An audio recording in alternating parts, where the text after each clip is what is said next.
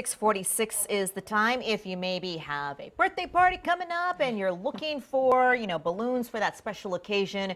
You may notice a problem. There is not a lot of helium to go around right now. And it's been described as a nationwide shortage, but it doesn't just affect how festive your party is. Chris Davis joins us now to explain Aww. what is going on with the helium. Yeah, and it does actually affect how festive your party is. That is an important factor here because this is mostly the property of helium that we know, right? It's lighter than air, it floats. But the, there are a lot of other properties about helium that make it useful for research and in medical devices. So, where is all the helium?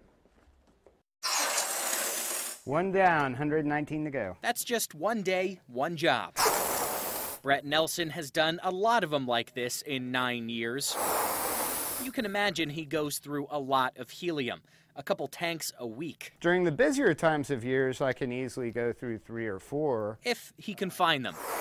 That's been a struggle the last few weeks. The challenge when a shortage comes up is that we did not get much notice. We go through probably two tanks of helium a month. UT geology researchers say they've had to wait a month or two for a restock recently, as opposed to just a few days. They use it to get better x rays of core samples. And here's an example of one of the samples that you can see here. That helps companies reduce the environmental impact of oil and gas drilling.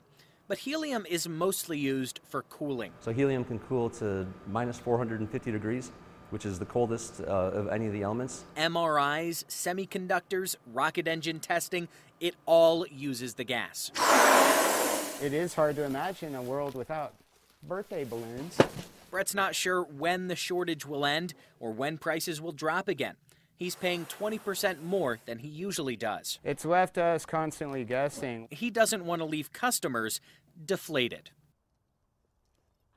Good Now, one. Brett, yeah, I, I had to get one, one in there at least. Brett and the researchers both tell me they've seen these shortages before. This time, it appears to be a combination of factors, including sanctions on foreign. this was a bad idea. sanctions on foreign helium suppliers, lower output from U.S. companies, and prioritizing where the available helium goes. Medical and military uses, of course, come first before the party balloons. All right. So I think a lot of people think, well, you can blow up balloons. You know, you don't Sure. have to have helium, but why is it so? Uh, there isn't anything else that researchers can maybe use? Well, for- so there are other elements. Something like hydrogen is also very light, which is one of the properties of helium that these researchers like. But helium is inert, which means it doesn't react with other chemicals, which makes it ideal for some of these research purposes. Yeah. Also, something like hydrogen is explosive.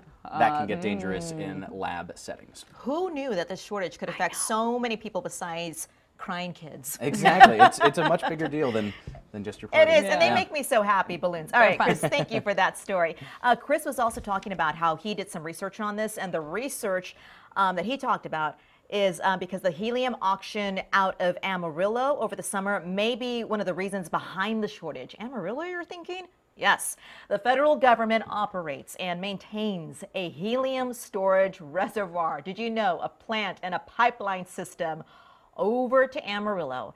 At one point, the city of Amarillo was dubbed the helium capital of America.